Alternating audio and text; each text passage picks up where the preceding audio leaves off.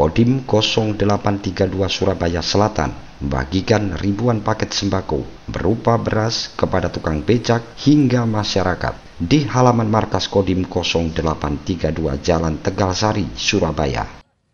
Meski penerima bantuan harus rela antri, pembagian beras sebanyak 2000 paket ini berjalan tertib dan lancar dan diserahkan langsung oleh Kasdim 0832 Surabaya Selatan, Letnan Kolonel Infantri Arif Widiantoro.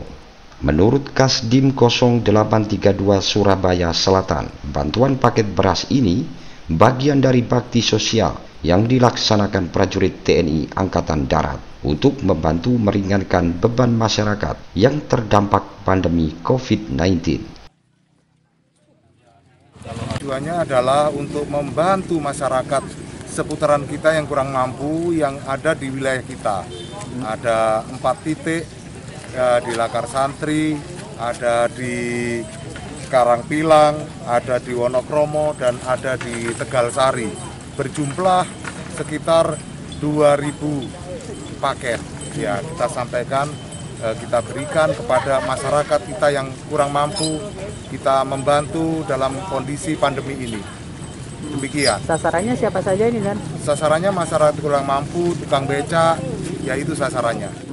Sementara itu Sutrisno penerima bantuan beras mengaku senang.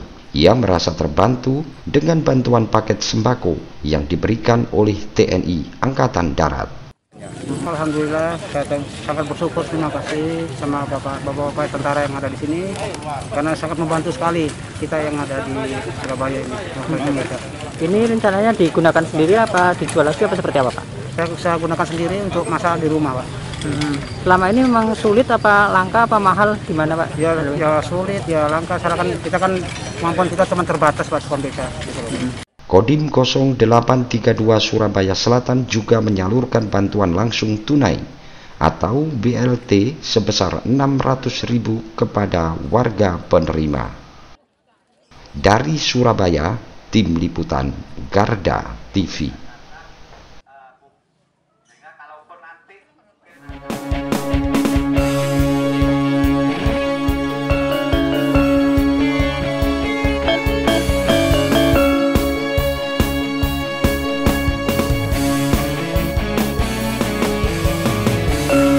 Devolution Rookie.